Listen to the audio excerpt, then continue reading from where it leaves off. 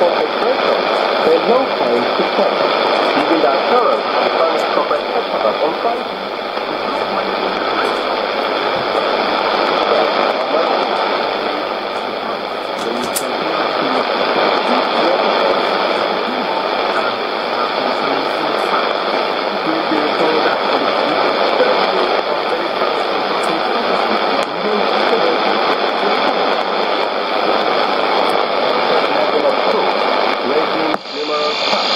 Portanto, a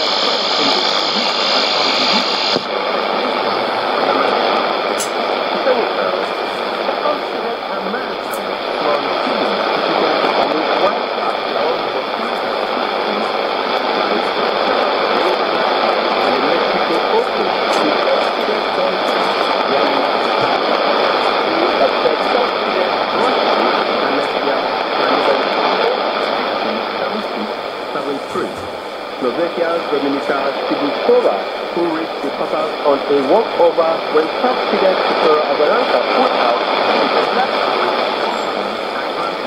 the 6-3, 6-2, 6-3 win over seeded 3, Joanna Lasky.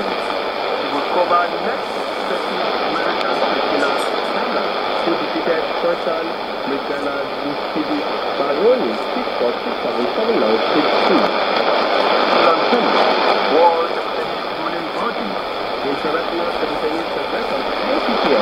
Confirmed the prize money for the 2016 Lagos World Cup. And as possible, I am TV Dominic.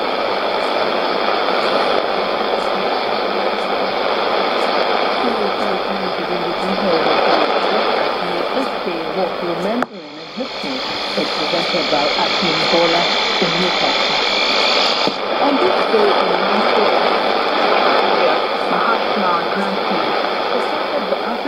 ように食で。